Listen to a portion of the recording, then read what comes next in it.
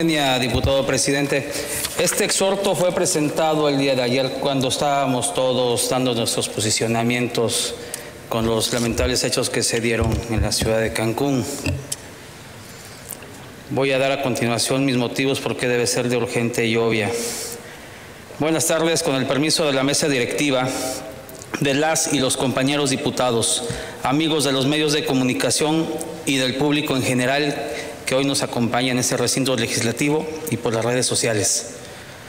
Presentamos de obvia y urgente resolución el presente punto de acuerdo con motivo de la inaceptable acción de los cuerpos de seguridad pública que intervinieron en los hechos de ayer, nueve de los presentes en, en la Plaza de la Reforma en el municipio de Benito Juárez, violentando los derechos humanos de las personas que se manifestaban libremente en dicho lugar. No es concebible que los cuerpos de seguridad agredan a los ciudadanos que se manifiestan para exigir justicia con motivo del deceso de una persona de un feminicidio más. Sobre todo cuando es cuando viendo que el número de ataques violentos contra las mujeres en Quintana Roo va en aumento y que los cuerpos de seguridad no no presentan resultados satisfactorios ante la sociedad que está molesta por la inseguridad que se vive en el estado. Desde esta honorable tribuna reprobamos y condenamos el uso excesivo de la fuerza y la violación a los derechos humanos por parte del accionar de los cuerpos de seguridad pública y nos solidarizamos con las personas que resultaron heridas. Exigimos al titular de la Fiscalía General de Justicia del Estado,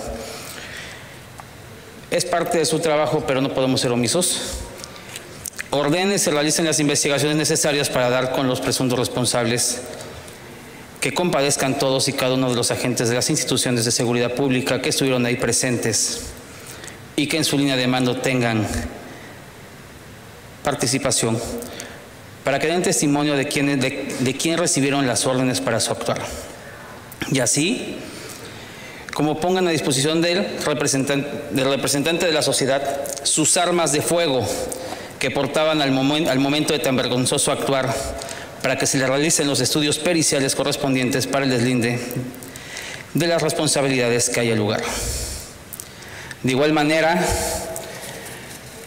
tengo que hacer un llamado a la Fiscalía que esclarezca estos hechos como si se tratara de alguien de su familia. Hoy veíamos en los grupos de WhatsApp, un grupo colectivo feminista de Quintana Roo deslindándose de un llamado a una manifestación el día 15 de los presentes. ¿Por qué se están deslindando? Yo me comuniqué con una de ellas y me estaba diciendo que no tienen garantías para poder manifestarse.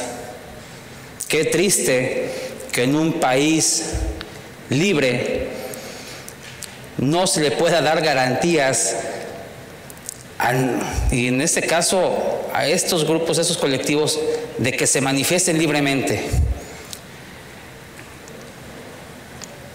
Ellas me decían que en esa manifestación hubo infiltrados, que ellas se manifestaron hasta cierto punto y que llegó gente a hacer más desmanes y las agredidas desafortunadamente fueron ellas.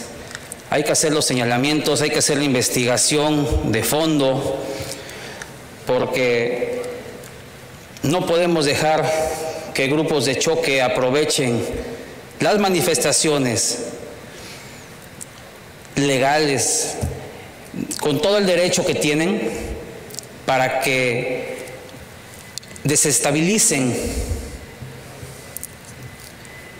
el movimiento tan genuino que están haciendo aquí en el Estado.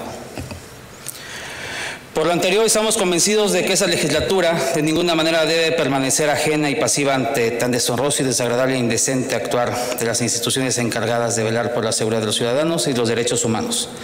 Por lo anterior, solicito su apoyo en el presente exhorto de, de obvia y urgente resolución, compañeras diputadas y compañeros diputados. ¿Sería cuánto, diputado?